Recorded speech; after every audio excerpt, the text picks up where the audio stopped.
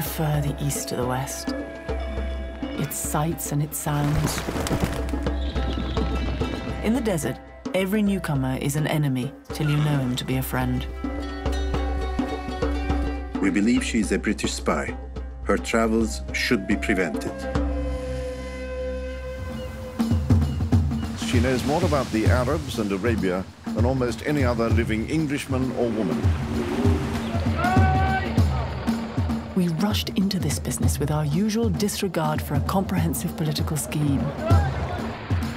The truth is that I'm in a minority of one in the Mesopotamian political service, yet I'm so sure I'm right that I would go to the stake for it.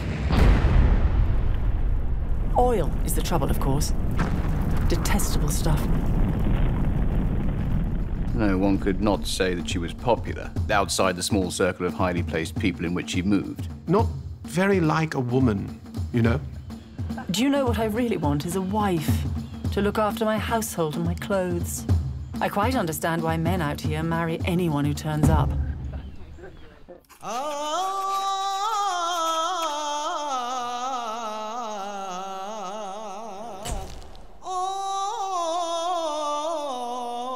The Arab prince and the English woman, who were trying to build up a new Mesopotamia between them. You may rely on this. I'll never engage in making kings again. It's too great a strain. I have never wavered in my belief that she came to her end by her own deliberate act. Don't tell anyone that the me they knew will not come back in the me that returns. Perhaps they will not find out.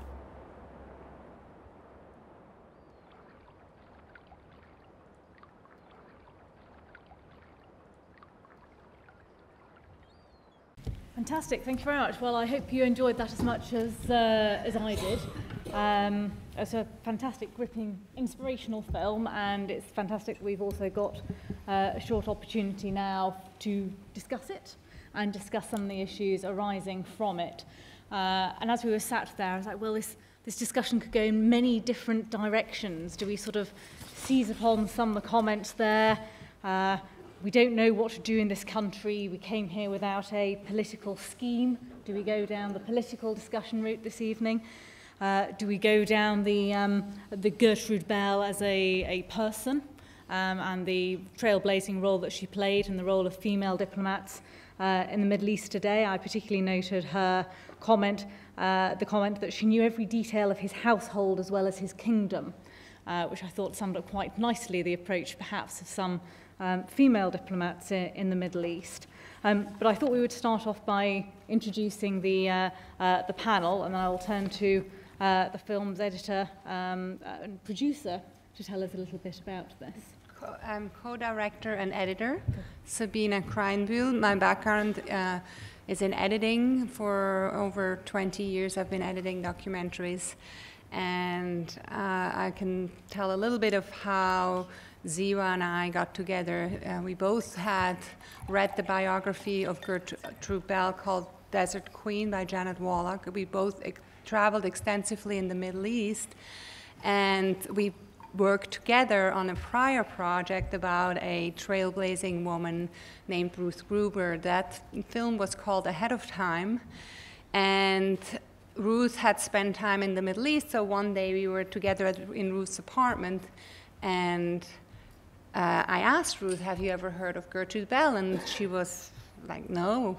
And Zeva said, I have. Uh, I've just read the biography. So we said, Oh, wouldn't it be great to do a film together and make a film about another trailblazing woman?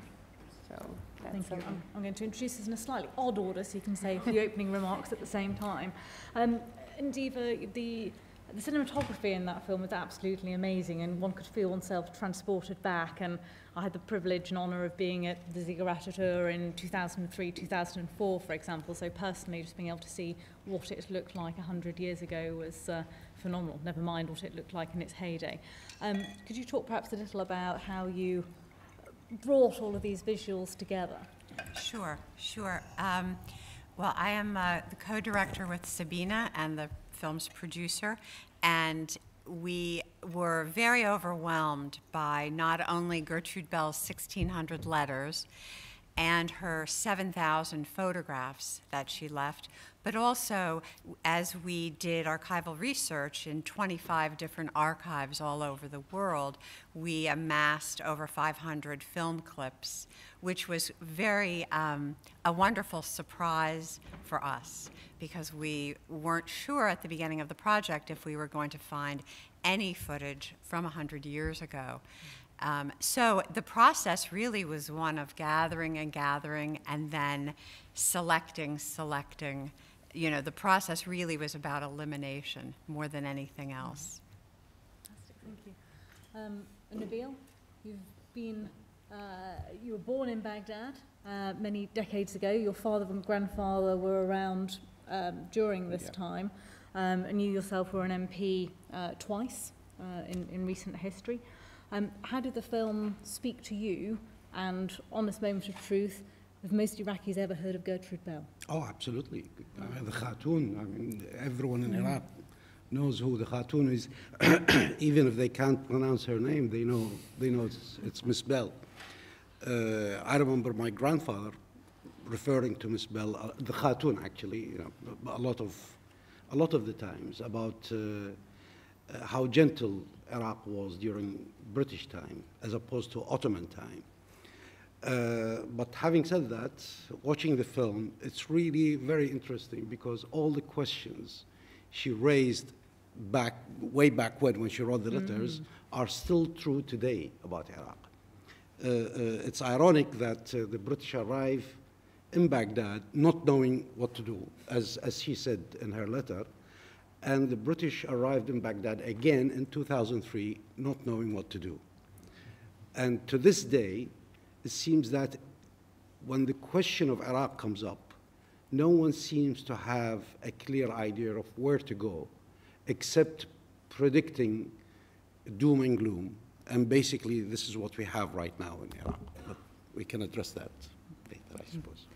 Um, I remember arriving in 2003 in one of my early meetings down in Al Amara, so halfway between uh, mm. Basra and Baghdad, uh, with the, uh, the sheikhs there, and I was attached to a, a military, British military battle group, and the sheikh said to me, the bad thing that the British did, and he started telling me in detail about some horrific act that the, the British had done. I sort of sat there thinking, my God, I, that, that doesn't sound like any of the boys I'm with. What, what? I was like, when when exactly was this? Mm. It was like 1921, right. obviously. Yeah. yeah. like, oh, thank goodness for that. Um, but yes, history history lives on. Um, Absolutely. I mean, the the the, the, uh, some of the issues she raised in her in her letter, apart, uh, you know, the, the fact that there is no plan, and the other fact is that the, uh, the they arrived in Baghdad with a preconceived idea that we, the next government is going to be a Sunni government. Because basically the elite that was trained by the Ottomans were the Sunnis, uh, completely ignoring the majority Shia, completely ignoring no less than 19% of the population, the Kurds, and other minorities. And that became like a ticking time bomb, which uh, over the years, from the, the, the, time the royals were the, the, King Faisal and King Ghazi, and then the Republic of Iraq, till the time of Saddam Hussein, the, the, the, the pressure of not allowing Shia and Kurds to actually be even partly involved in running their own country led to uh, crimes of genocide in the north, crimes of genocide in the south, uh, uh and now we're seeing as, as, a result of that mismanagement back in the 1920s and before even the 1920s, uh, the, the, very vision that Gertrude Bell came up with for Iraq and the future of Iraq is disintegrating now into an absolute nightmare. Three states, many small wars will, will come after this ISIS war will be over very shortly in Mosul. Uh, one, it will be between the Kurds and the Sunni Arabs on their border. Another one between the Sunni Arabs and the Sunni Arabs. And a third one, I believe, between Shia and Shia as well. So that vision has really turned into, into a horrible nightmare because uh, uh, no nurturing of, of the minorities in the country has taken place. Uh, successive governments Uh, ignored them completely, and international powers that were very much involved in Iraq during the past century has completely ignored the question of minorities, completely ignored the question of even majority role. As in South Africa, Iraq was, for many years, the, the majority was sort of put on the side. And I was very struck by um, uh, the film when it touched on with Bell sort of deliberately going out to meet some of the minorities um, and the Jews, etc. Now, Nick, you're currently living in Baghdad. You're the deputy, British deputy ambassador, uh, and you served in many places in the Arab world, including Muscat and Cairo, uh, and not in the Arab world in, in Moscow. Um, I could ask you to go political, but I'm sure some of the audience will, uh, will ask you along that line. So I'm going to change the direction slightly before I come to Helen and ask you, being a female diplomat in Iraq nowadays, do you have any in the embassy? Are there many in Baghdad? What roles are they playing? Um, when I arrived in Baghdad, I, I sat down in my first diplomatic meeting with, with the UN next to the only woman around the table who turned to me and said, Hi, I'm the Swedish ambassador. I guess you're the new British deputy because you've just reduced the numbers of, of women around this table by 50% because your predecessor was a woman and she sat next to me. So it hasn't improved significantly since uh, Gertrude Bell's time. That said, um, my US uh, counterpart is a woman. Uh, the, the head of the UN humanitarian operations and stabilization operations, one of the most powerful uh, figures in the diplomatic uh, international community in Iraq is also a woman. So there are um, bright sparks in that. I would perhaps point to a slightly different uh, point around diversity itself. Mm. And uh, both to pick up on Nabeel's point about the tragic loss of diversity within Iraq. You mentioned, that, you mentioned the Jewish population, one third of Baghdad when she was there, now virtually nil. Mm. I think that that is perhaps one of the, the more difficult political issues facing Iraq now. That starting back uh, in, with Saddam in the, uh, in the 70s, the decline of respect for minorities, which is now being reflected most recently in Daesh's treatment of Yazidi women, of um, Christian communities. It, it is one of the most toxic aspects, I think, of modern Iraq. Um, but I'd, going back to my diversity point, I, as I joined the Foreign Office 20 years ago, um, there was a weird moment when the Foreign Secretary then looked very pleased to declare that I was, I was the new generation of people just British, enough to join the Foreign Office. uh, I'm half Arab. So I, I think there are elements of, di of diplomacy that are getting more diverse and reaching out and sort of engaging rather more effectively in, uh, in Iraq than a lot of the men in, in that film did. Very true, very true, and a good, good, good point there, thank you. And Professor Helen Berry, you are Professor of British History and Dean of Postgraduate Studies at Newcastle University, which houses the Gertrude Bell Archive, um, and you are a predominant scholar on Gertrude Bell. You've written a, a book about her, many articles. Um, what was your reaction to this amazing film that we have just seen?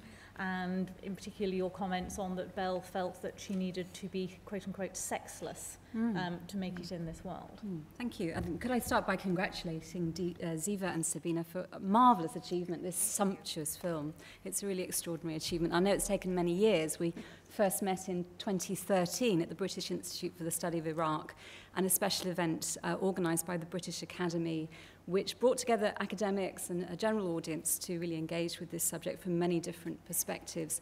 As you say, Jane, we are the proud keepers of the Gertrude Bell archive, so I would really like to pick up on the closing headshot that said, read her letters.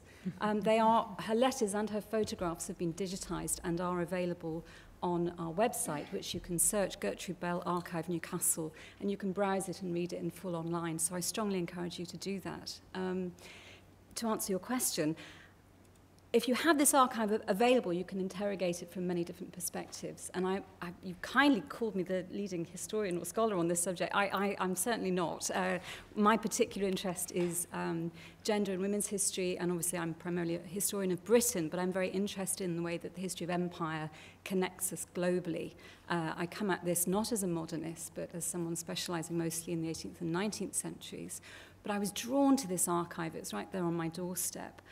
And I was really intrigued about why she disappeared from historical view. And it's only very, very recently, and now we have this marvelous documentary film, that is a profound act of historical recovery. If you recall David Lean's film, Lawrence of Arabia, she's not there. You know, so what happens to women in history? And what strategies did she deploy to find uh, a place in the theatre of diplomacy, in the theatre of war, in so many different fields that were male dominated. And in my work, I've, I've looked at the strategies that she came up with in response to your question specifically. One of them was about her own self perception as an honorary man. And you see this mm. as running through a thread in her letters. She plays with this idea that somehow her education, her class, and her imperialist values gave her the right to speak and find a place at the table. her Oxfordy manner, which you quote in the film, I think she had right until her dying day, because it was in that uh, hothouse environment of a, a, an elite girls' school in London and at Oxford that she learnt how to debate and to find a voice uh, with, very powerful men, and also the salon that was in her father's house and her stepmother Florence. They created this hothouse environment. They brought leading intellectuals and politicians. So, right from a very young age, she really learnt how to hold her own. I'm struck that you chose someone with quite a soft voice to do the voiceover because I, I, I think this is a tension in reading Gertrude Bell's letters. She's not a very sympathetic character in many ways to the modern eye. And, it, and part of my work is on her anti-suffrage position, which mm. to us seems absolutely extraordinary. She didn't want women to have the vote we can talk about that more. But um, we can address you know. we can address the um, the voice actually because that was a topic of much discussion. What kind of accent should she have? What kind of voice? And we came across documents that indicated she had a sort of strident or shrill or not an enormously pleasant and warm voice. And then we asked ourselves, would someone want to watch a film for 90 minutes that was being, um, you know, voiced by someone like that? And the answer was no. So the accusation is of the shrill voice. Let's throw this open to um, Q&A. There are a couple of microphones around, so if you could put up your hand to indicate you'd like to speak and someone will uh, bring you a microphone. Um, I will ask Alistair Burt, please. Thank you for joining us. Uh, thank you, Jane, very much. Alistair Burt, I was the Minister responsible for the Middle East with William Hague between 2010 and 2013, and thank you very much. That's just a wonderful film, and any colleague coming into the role that I had should see that and, uh, uh, and marvel at it. Uh, my question was about the, uh, the absence in the film of much about theology and Sunni and Shia, which of course dominates us today. Did she write much about it? Is there much in her letters about this? Um, or was it something she rather glossed over? Uh, it, it, seems understandably she spent her time involved in secular politics. She recognized the differences between groups, of course. But did she write much about this? And did she in any way anticipate how important it was going to become, uh, or how much more important it was going to become in the politics of the of the region. Thank you. Who wants to take uh, that one? So do you want to answer that? Or, um, in term, she did write quite a bit. I mean, she really did, wrote about every ethnic group, and that was always something that fascinated us. Her her understanding of the, of all the ethnic group her, her um, connection, as you were saying, when the British in general was closer to the Sunnis, that was the elite. Uh, she was an atheist all her life and therefore had less, um, let's say, less desire or, or less uh, sympathy for the, for the Shia majority because of the religious and uh, aspect of that group, ethnic group. Um, but as far as was she able to anticipate how it would work out? I think her idea always was that of tolerance and of inclusion, and the, the, the idea of bringing in a Sunni uh, to and, and, and include Kurdistan to raise the Sunni minority uh, group was obviously very calculated. I mean, it was not just her idea, it was the British uh, government's idea. Um, but I don't think that she actually anticipated what was, was going to happen. That was something that I think no one did. Nabeel, you touched on some of this in your opening remarks. Uh, one of the issues that she faced as soon as she arrived in Baghdad is that one of uh, the mujtahid, as she referred to, to, them, to him in her uh, letter, Ayatollah Shirazi, he issued a fatwa which uh, to this day, a lot of Shias would tell you that it was one of the uh, uh, terrible mistakes uh, a mujtahid would do in, against his own people, which banned Shia from working in government, full stop.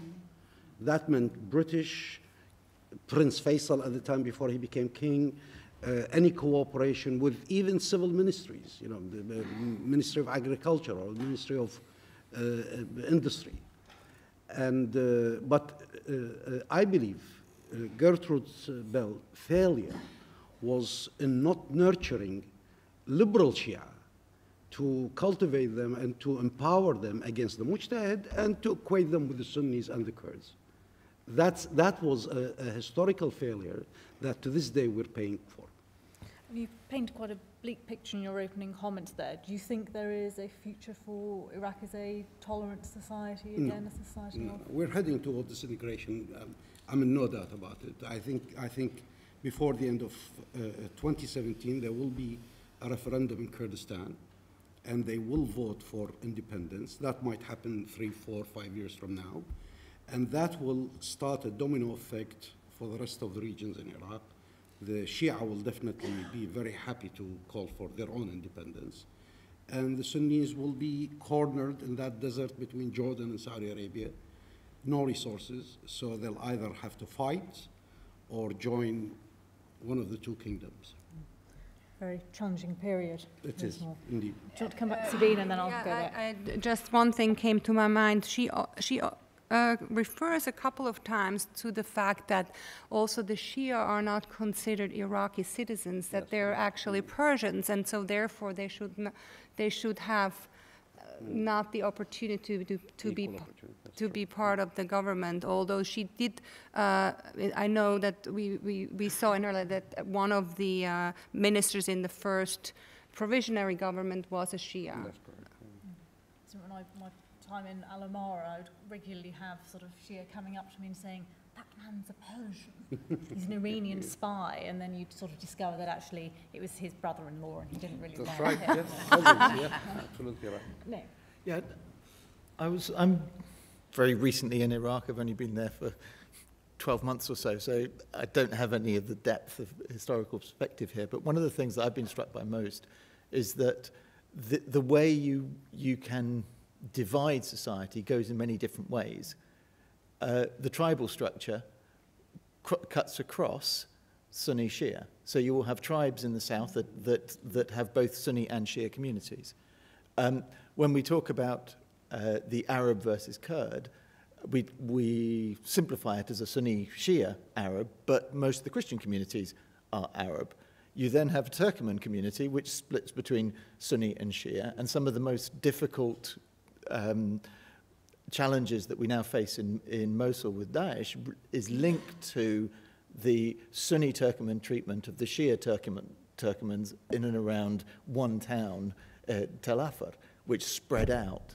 So it, it's a rather more sort of, uh, it has been cut in a certain, the cake has been cut in a certain way since 2003 as politics have come in and, and, and laid claim to large chunks of um, harm and hurt done to communities in Iraq, uh, though it isn't necessarily, I would suggest, that that is how it has to be seen. Thank you. Uh, gentleman in the middle row. Hi, Richard, Ling, Richard Ling, I'm a member. Um, I'm coming at a different angle, uh, thinking about the end of the film, the credits. You, it said that the uh, museum was vandalized by the Americans. That's the, the words. And I think that can be misread by a lot of people because I don't think the American invasion went in with the intention of vandalizing a museum, but that's the way it reads. Um, in, the, in the end credits, it says that it was vandalized during the 2003. Does it does it yes, for sure. Yes. Because a lot of people don't see the credits on films, so you, you, they, they might miss that. Yes. But uh, I just thought it was. Well, that was one of the tragedies among many tragedies in the 2003 invasion was that the um, forces were not guarding the Iraq Museum and they were instead guarding other things, including the oil fields. thank you for the, the feedback. Uh, this lady over here, and then we had another question over there, and then that gentleman. So we're testing our microphone lady. Um, thank you for the film. Um, I don't want to be the cynic in the room, but um, I find the language being used slightly troubling. I myself am from Iraq um, and I'm an independent journalist, journalist but I feel the uh, current political situation is um, sort of trickling into the uh, language of the discussion being had. I don't necessarily believe that at that time Iraqi um, communities were seen as sectarian clusters, uh, nor did people identify based on their sectarian affiliation. I think the documentary um, very astutely raises the question of what are the differences between um, Britain's colonial project then and what the Americans undertook in partnership with the, Brit with the British in 2003. The, the uh, Gertrude Bell and her entourage sought to create a strong state with strong institutional designs. We did not see that in Iraq in 2003, and we saw the country being divided along these mm. ethno-sectarian lines. So why is that? Why is it the case?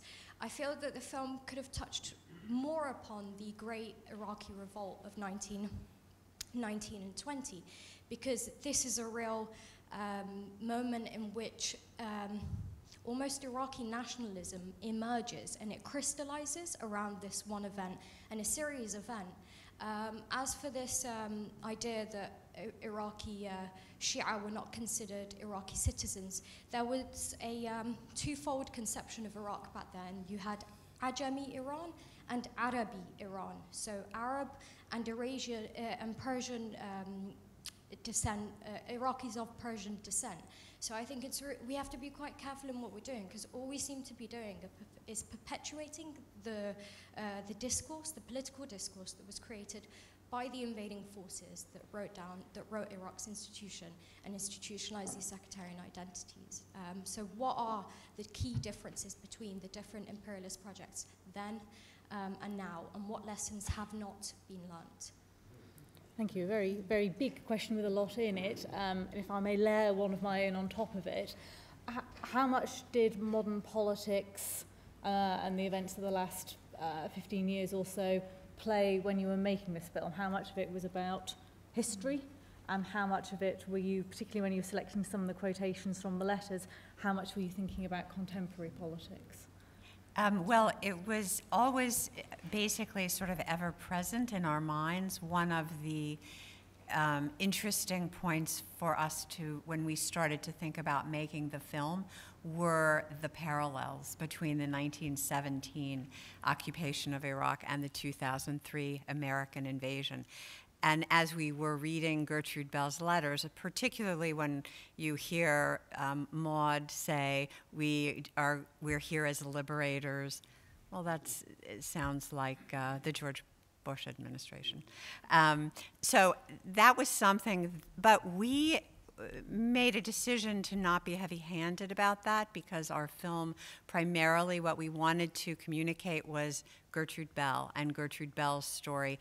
And we wanted to stay somewhat focused on that, but certainly we felt that it was revelatory and she was very prescient in her understanding of the challenges and missteps And to answer your question, I'm not sure anything has been learned from the last hundred years that we've. One thing also to address why haven't we expanded to the 1920 very important um, event in Iraq? In fact, a lot of Iraqis applaud us that we even included it because so often it is not even mentioned. So, uh, you know, in a film that uh, spans the, the course of a life, like Gertrude Bell's in this case, there are so many aspects that you could expand on. We had material for a five hour film, and in fact, some of really interesting stuff from the 1920 um, uh, rebellion. It was hard to find primary source material. We did, that was the basis of our film. We looked for primary source material. We didn't base ourselves on, on a biography. And luckily, we were able to uh, work with the National Archives, uh, Library and Archives in Baghdad. They had just started to reorganize it because that was one of the other uh, uh, institutions that fell apart during the 2003 occupation. And so it, it, luckily they had just started, and so we were able to gain some of the actual documents from the time, like um, Al Istiklal, which was this one paper that only over the course of, of the rebellion and a little bit after actually was issued. It was kind of an opinion paper, and we're able to grasp some things from there. But it's about it's a, it's a very difficult balance because you can then sort of like end up being making that the main part of the story, and we really had to balance all aspects in the life of Gertrude Bell. I don't fancy uh, you taking it from five, five hours to 90 minutes. That's a tough editing job. I'll just bring Helen in briefly, and then this gentleman here, and then that one there. Just very quickly, the comment that you've made there very much echoes some of the uh, comment that was made at the British Institute for the Study of Iraq. Older Iraqis, dare I say it, some of them from a Sunni background, were often very nostalgic about the British in Iraq, uh, say the 1950s, and we all know what a multicultural society it was, and women were educated, and that was the world of Zaha Hadid's childhood, for example. The younger colleagues who we met there, often articulating what they identified as the, the Shia position, were much more angry about her legacy. And I, indeed, I, I mean, I talked to Kurdish PhD students who I look after in my role as dean, and they regard her in a very different light. Mm-hmm. I don't think it's our job, I don't think it's my job as a historian to smooth over those tensions. And actually, something I find very problematic is the way she wields the camera. And that came through very strongly in the film. She overrode anyone who was objecting to her taking photographs or mm. having the privilege of drawing back the curtain on the harem. So she totally is exploiting her position as a woman who no one really knows what to do with, but who is also in a powerful position as, as someone who represents an imperial authority. I think that's deeply problematic, but at least we can air it and say this is what we need to work with. Yeah. Thank you. The gentleman at the front here. I, I remember. I'm just curious whether she was interested at all in uh, uh, Anglo-French relations during this period. I mean, the point has been made there's going to be partition. The, we are interested in the whole of the region now. The notion of Iraq, the notion of Syria, is up for bids, and all of that goes back to the Sykes-Picot line. And I'm just interested to know what, what part, if any, she took in Anglo-French relations in regard to this region and what part she played in the formation of policy in that regard. She was not involved at all in the in the Sykes-Picot agreement. That. Um, I don't think she had. Well, it's that's a very good question. We not really we're not really sure what her views were because that was sort of outside of the scope of our interest was her in Iraq and her action in Iraq and her daily dealings, and uh, we're not. I'm not really sure what her view of in Ang- the Anglo-French. I think she just accepted it as a fait accompli. Nick, any comments on relations with the French in modern day Iraq? Excellent. How's the food? Thank you. Gentleman at the back there. A wonderful film. Uh, it's, of course, a life which was a, a, kind of tragedy. So I'd like to ask a what if question, which, to which there will be no easy or certain answer. But had she not lost both of the men that she loved, had she married, what kind of Gertrude Bell would we now be remembering?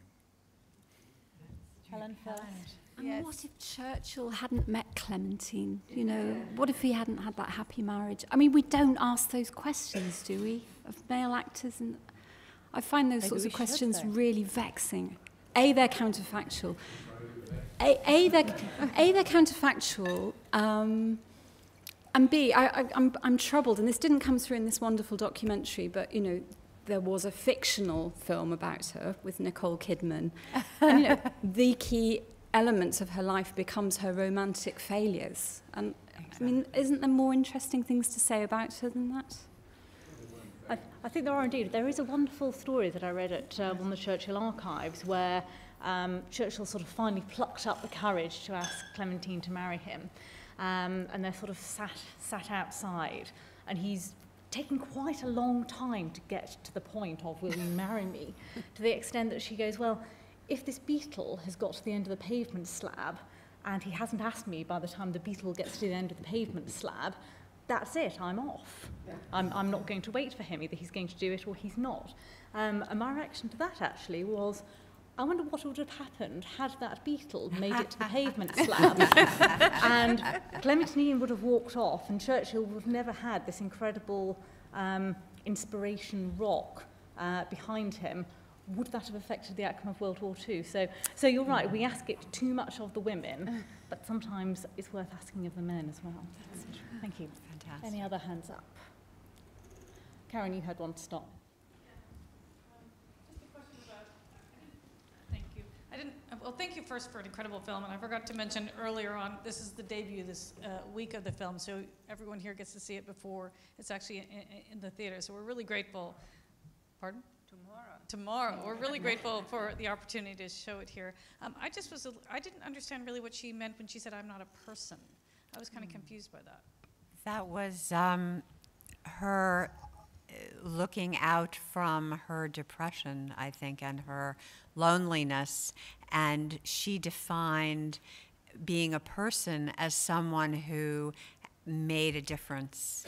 And um, as she says in, toward the beginning of the film, I'm a person in Syria. I have become a person in Syria.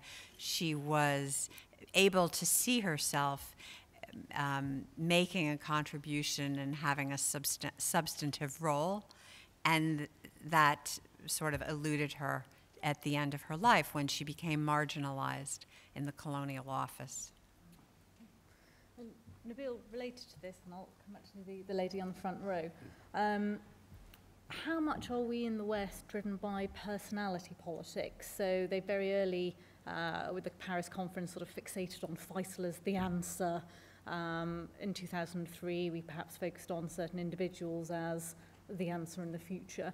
How much should be about institutions versus individuals? Well, back then, in the, during that period, there was no Iraq. There were no, no institutions exclusively Iraqi. Uh, I, think, I think the people in the Paris conference were very fascinated by this good-looking Arab with the golden head cover and uh, tall. And I mean, he was described in so many different books in a very romantic Mm. way. Although the reality of uh, Prince Faisal, who became King Faisal, he was quite sectarian as well. He went to Basra to, to uh, seek out his, the first prime minister of independent Iraq. And the people of Basra, who, as Ms. Bell described, uh, uh, received him quite lukewarm and, you know, they were not very keen on uh, having a Saudi prince or a, Hijazi prince becoming the king of Iraq. So he went back, and they were very happy that he's going to choose the first prime minister from the large, second largest city in Iraq. And he actually went to uh, Sheikh Abdurrahman al Naqib, who was the head of a very small Sunni family in Basra, and uh, accepted the condition from uh, uh, Abdurrahman, which was I will only take, in my, cab- in my first cabinet, I will only take one Jew and one Shia. So that's how King Faisal started his. his uh, but in the West, no one, I mean, probably not even today, it's written in many books. about, about that incident. And that policy continued all the way throughout the 20th century till 2003. It really never stopped. The prime minister and the president of Iraq all the time uh, are Sunnis. And the best cabinet probably was under Saddam when he had two Shia ministers. So unfortunately, that, the, the policy that started back in 1920 continued till, till 2003. Thank you. Lady on the front row. It, it's a combination of things. Um, I've seen this film um, not as many times as the um, producers, but I've seen it many times. So I urge you to see it multiple times because each time you see it, you see something different. And the hmm. part that I really want to point out is looking at the British soldiers and how they were treating the Iraqis in hmm. those scenes. And I'm afraid, although you know we can put a nice um, complexion on some of it, I actually find it deeply disturbing that hmm. part. I admire Gertrude Bell hugely. She's, you know, a heroine for many of us, but um, she was there at a time that I don't think was very easy for anybody. Um, uh, Helen Berry, um, I'm actually going to extol her virtues because this is the book from the conference she keeps referring to that it was just published last week, um, and it is contributed by all about 10 people who were at that conference, including Saad Iskander, who was the head of the Iraq National Archive and Library, and I don't know whether Nabeel knows him, but he also had to leave his post under difficult circumstances. So things in Iraq are so complex that I think this movie shows us all that it hasn't changed, as you say, in 100 years, even though it may be worse. Thank you, gentlemen. Thank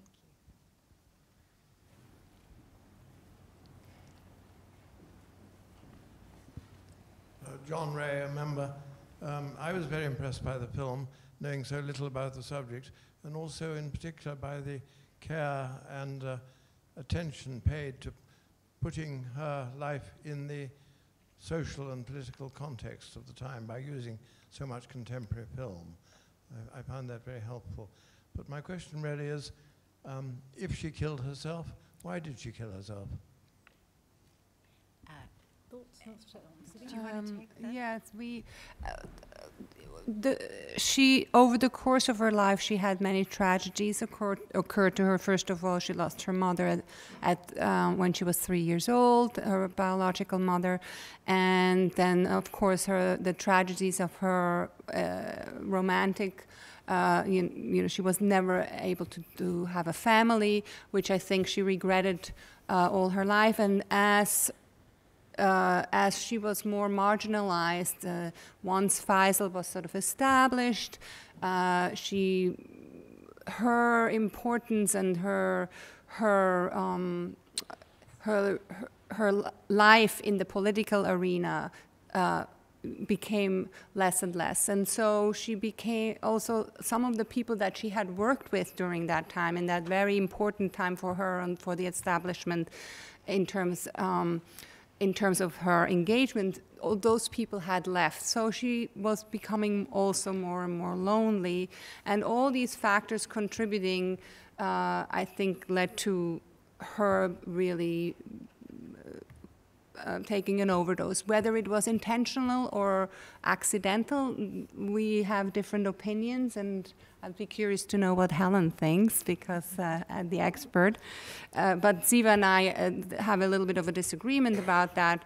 Uh, we feel there is no conclusive evidence on it. The family believes have also over the course of the years come to the conclusion that they believe it was suicide, and it was base, basically because of um, her loneliness and depressed. There, there are a few other things as well that I think sort of um, piled on in, in her life. She, this is not in the film, but she lost her stepbrother Hugo, who she was very, very close to. He died in February of 1926, and I'm, that was, I'm sure, quite a blow to her.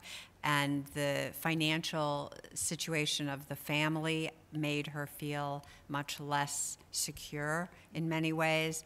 Um, and so uh, there was one other thing that was pointed out to us by Gertrude Bell's niece, Susanna Richmond, who we were fortunate enough to interview. She actually met Gertrude Bell, and she said that Gertrude Bell, the week before she died, had asked Ken Cornwallis if something happened to her, if he would be willing to take her dogs. And the family was quite furious that Ken Cornwallis did not say, happen to mention that to anyone. And they really um, were quite, quite furious for, I think they're still furious. Um, so, you know, whether it was there's some some things that happen that make it seem more premeditated and some things that you could analyze that make it seem more impulsive like an impulsive move but you know we we tried to leave the question open Yeah. Not that she didn't feel there was any more purpose in her life. Mm-hmm. right no no Yeah. that was a big thing Yeah. that was quite a big thing I- I've talked in lots of different audiences about Gertrude Bell. The last one was an audience of 800, which was a public lecture in the northeast of England. And people were really angry that I said, as I believe, that she really did commit suicide. And I think that tells us more about our attitudes to people who take their own life than perhaps a more detailed consideration of what might have moti- motivated her. What really emerged, angry they're angry at me for asserting that she took her own life because they don't want to believe it about Mm. her. And I do think that's one of the reasons why we've sort of had to recover her because of the quote shame that hangs over someone who commits suicide. So I think that's a complicated matter. Watching your film, I have a stronger impression than, ever that perhaps the hardest thing for her to take was seeing her own father so shamed. Because I think the greatest, and to answer the gentleman at the back, I think the greatest love of her life was her father. Mm-hmm. Everything that she did, when she climbed the Bernese Oberland, and you know, she's up there on the top of the mountain, it's, Daddy, look at me. You know, he's there waiting at the bottom. And, and love of empire is love of Daddy writ large. Mm-hmm. And to see him shamed in old age, the, the family lost their entire fortune. I think that was the final straw for her. So that's my, my That- view. That's very Thank you. interesting that you're pointing that out because it is one of the few times she actually comforts her father, whereas he comforted her all her life. Thank you very much. You've given us um, A, thank you very much the the panel. B for an absolutely amazing film. I think you've given us you've given us history, you've given us Gertrude, you've given us modern historical parallels. We could go on talking about this for many more hours, but I know that Karen wants us to move upstairs. And whilst Karen's looking for the microphone, I'll say a huge thanks to Rusi for organising and hosting this, and Karen Yes. continuing her series of inspirational events under her leadership at Rusi. Thank you. Uh, I wanted to thank the panel as well. Jane in particular, I forgot to mention because I don't think everyone here got the bios that Jane had been ambassador in Yemen and was the acting ambassador in Iran. So she's been evacuated twice from the region. She's lived in Iraq and many other places, worked on Afghanistan, etc. So it was really wonderful to have her here today. And Zeva and Sabina, thank you again for letting us show this film here at Rusi. It really is a privilege for us. Helen, thank you for traveling all this way. And Nick, of course, for joining us as well. I know you were on your break, but uh, we're really grateful to have you. And then Nabeel, as I mentioned earlier, before N- Nabeel arrived, uh, he filled in in the very last minute. I called him this morning because someone else had pulled out. So we're really grateful for you to join us. And we hope you will all come upstairs and have a drink, and you'll have a chance to talk to everyone on the panel, I hope. And further. well. Oh, I did. Yeah, I mentioned Nick. Yeah, yeah, yeah. Thank you. He's so coming a thanks. long way from Yeah, thank you very much.